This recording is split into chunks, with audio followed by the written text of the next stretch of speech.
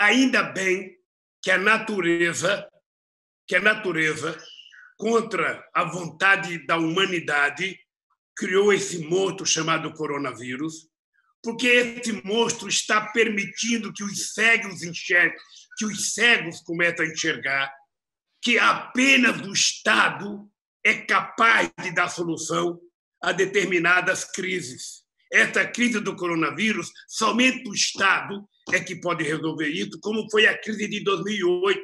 Somente o Estado pode resolver isso. Aí